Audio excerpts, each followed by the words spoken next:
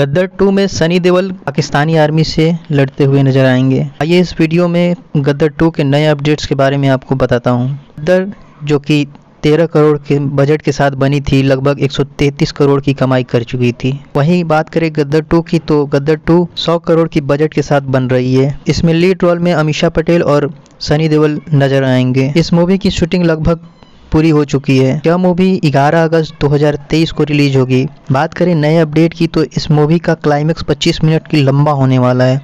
जिसमें सनी देवल पाकिस्तानी आर्मी के साथ दो दो हाथ करते हुए नजर आएंगे तो कैसी लगी आपको यह अपडेट्स कमेंट करके बताएं तो मिलते हैं अगली किसी बेहतरीन वीडियो में तब तक के लिए खुश रहिए